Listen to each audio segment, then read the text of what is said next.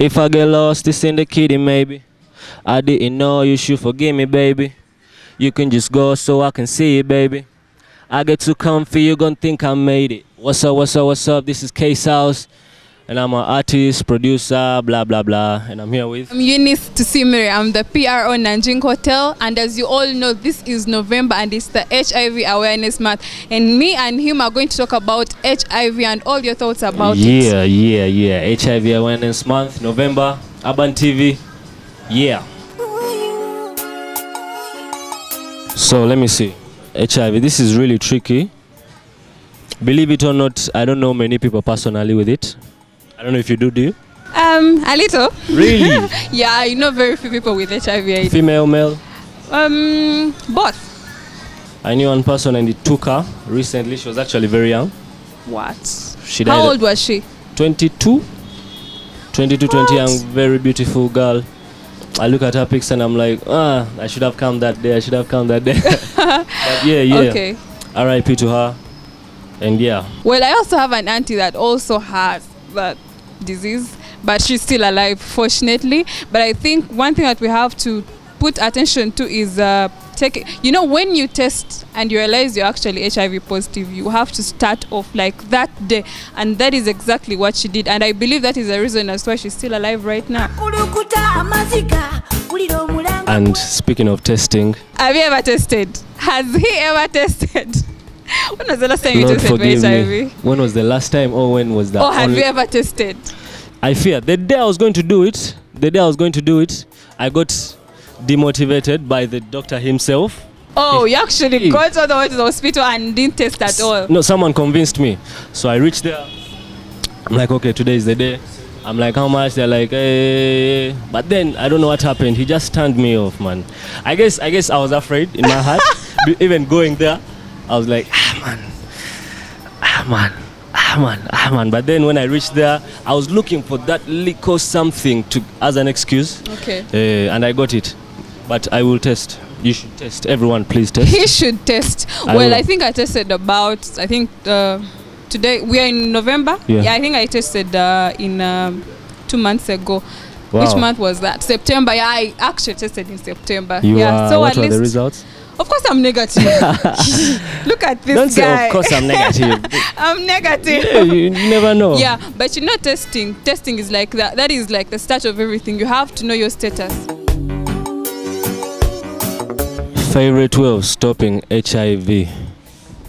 I think the first thing is the condom. I think I would have thought of saying abstaining first, but it is that hard. It is not so easy. You can't keep telling people abstaining, especially as the youth with this kind of era. That, yeah, I'm part of it. I'm young, by the way. Yeah, yeah. Why the deep breath first? I am. yeah, I am. so we need to look at just mm. make sure that is like your protection. Mm. Yeah, so you have to move with protection everywhere you go. Mm. Make Mm. sure you have protection, and you know it's it's it, that is one way of saving your life anyway. yeah, and Yeah. if if not condom, test test each other. You know. No, but still, you Mm. can still test and something happens in between. So test and still use condoms just No, to no, be no, so no, no, sure. no, no, no, yes, no. I'm, we might test today Mm. and we are probably all negative, but that doesn't mean you're going to be having unprotected sex every time. So you might Test every after two weeks, still. depending on how often you guys get together. but test regularly. okay. Yeah. I've heard of someone. I've never really met anyone, but I've heard of someone. I was at some place, uh, some place that I usually go to, and in that place, it's always foggy. I don't know if you know what I under- what I mean.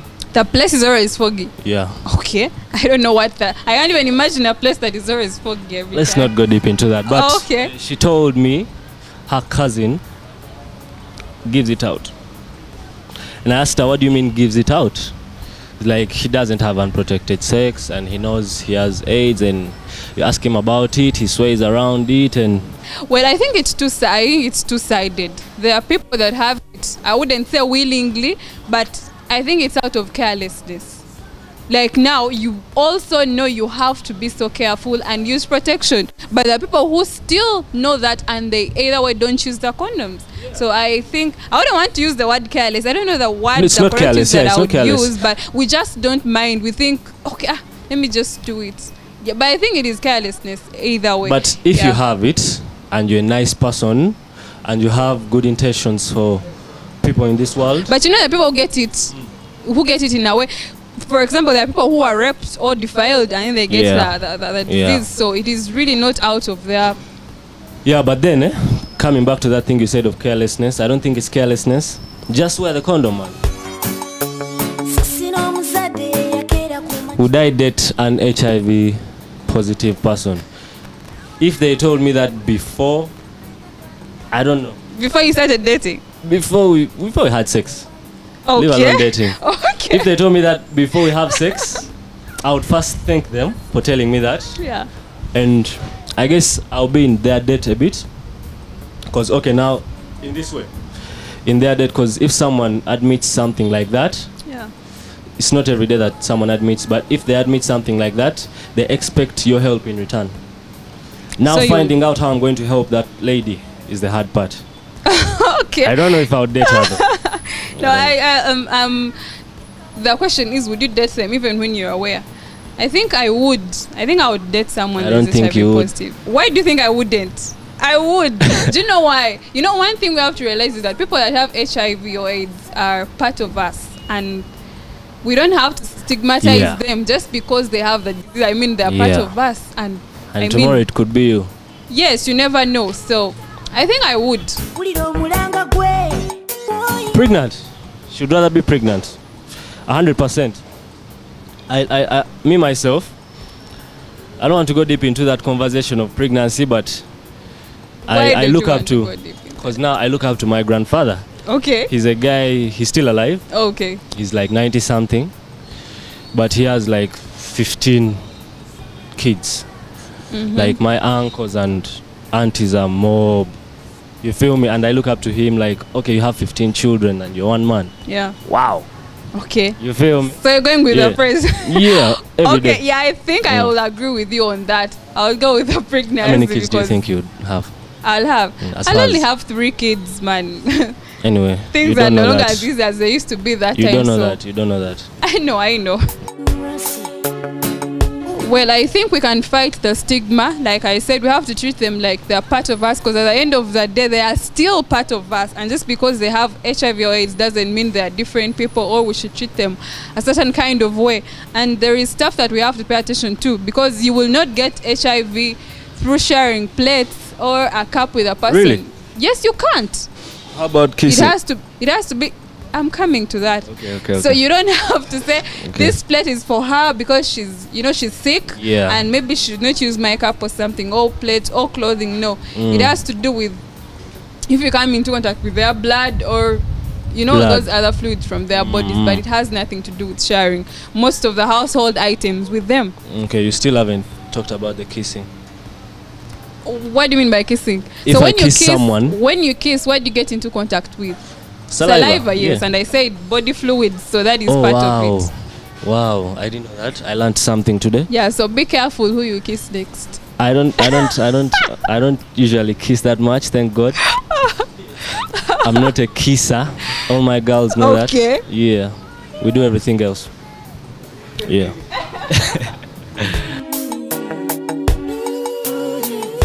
I think I would first check myself before I even reply her. I'll be like, okay, okay. then Before I you run. react, yes. be like, hold up. Thank you for telling me. Let me come. Do you have some drinking water? Do you have? Let me find you. Then I check. Yeah. Ah, then that's when my reaction will come out. So your results will determine how you're Yeah. going to react to the whole Yeah. thing. Yeah. Okay, I think you have a point. Because Yeah. at the end of the day, she might be positive, but when you're also still safe. Hey. Yeah. I guess and so. again, that I think that also opens your eyes.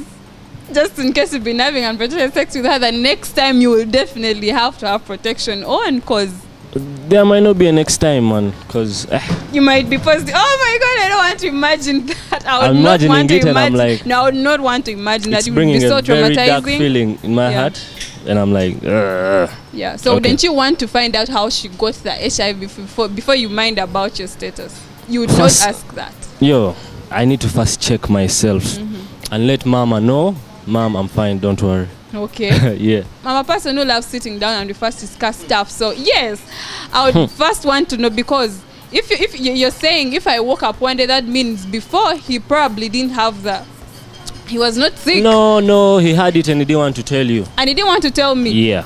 But how do you start dating someone without going for an HIV test first?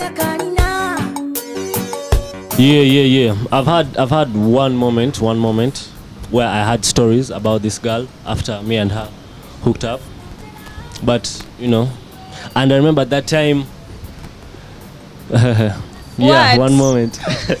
one moment. Talk, say something. no, say it, please. He has to finish this story. We're on national TV and yeah. okay, after you guys had made up, it is normal. No, no, no, no. but good thing, good thing, good thing. I later spoke to her about it because I haven't checked.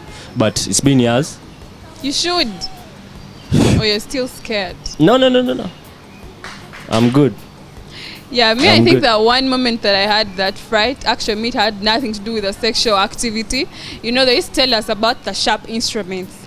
So I remember one time in high school, we had like a show, some show, we were like showcasing some outfits. So I think my outfit had sort of like a problem somewhere, so they had to cut. So the lady had uh, a fellow student had a razor blade. So she was trying to cut the. We had word like leave zone and some st- stitch to our clothes. So she cut me. So after cutting me, actually didn't mind. And then after Where like a did she cut weeks, you? Yeah, Where did she cut you? around this place. So Okay. after cutting me, after uh, like the second week, I developed a rash on my body, Symptoms. and the only thing that came into my head was, oh my god, that razor blade.